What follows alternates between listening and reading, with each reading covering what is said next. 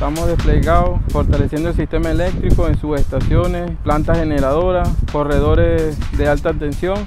Comprometidos con esta empresa, comprometidos con el país, comprometidos con nuestro estado de Harinas, haciendo el trabajo día a día en pro del, y el beneficio de nuestra comunidad, de nuestro estado.